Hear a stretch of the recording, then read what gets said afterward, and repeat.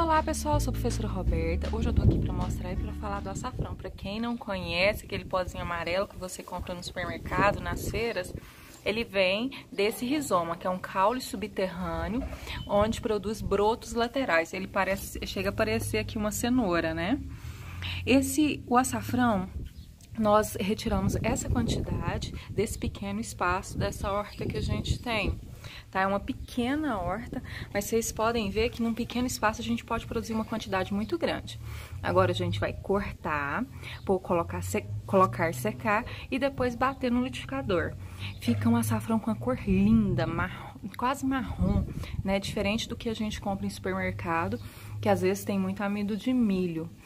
É, o açafrão, pessoal, ele é um poderoso anti-inflamatório, ele ajuda nas funções é, hepáticas do fígado, ele é altamente digestivo também e melhora nosso sistema de defesa. Então, ele é muito, mas muito bom para nossa saúde.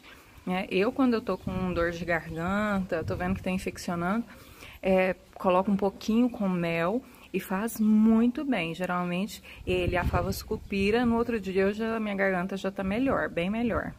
Então, pessoal, tem o pessoal confunde às vezes com outro açafrão, que é o açafrão retirado ali do pistilo da flor. Aquele lá é, é outro tipo, tá, pessoal?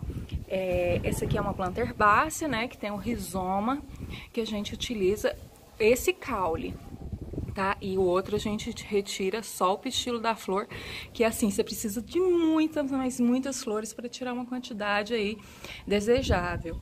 E aí o pessoal utiliza muito para gastronomia, essas coisas. E esse aqui, por exemplo, ele é originário da Índia. O pessoal por lá, geralmente, tem uma quantidade de muito pouco de casos de Alzheimer.